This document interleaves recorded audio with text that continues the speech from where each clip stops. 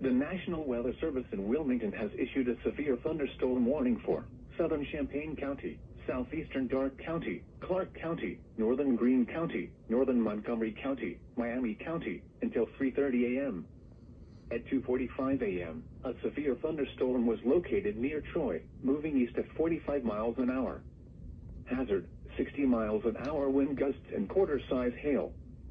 Source, radar indicated. Impact, minor hail damage to vehicles is possible. Expect wind damage to trees and power lines.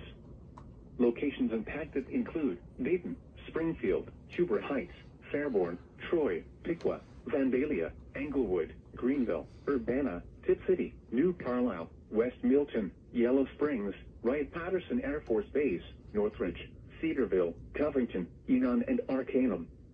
This includes the following interstates, I-70 in Ohio between mile markers 25 and 70. I-75 in Ohio between mile markers 59 and 81.